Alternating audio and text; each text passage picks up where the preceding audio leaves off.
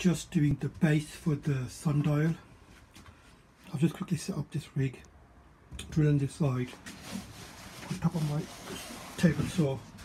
Initially I thought I was just going to do like a square base, but I thought it might look a bit nice if I just do like a like a round round base and square tops. Sorry, round base and square tops. But I'm going to see how it goes. I haven't got a plan at the moment how it's going to look. I'm just going to go as as is, whatever turns out. Hopefully, it should be good. So I'm just going to get this cut. I've just put this above the table saw with drill, and hopefully, once that turns, it'll just be like a big dowel. But I'll have to just see.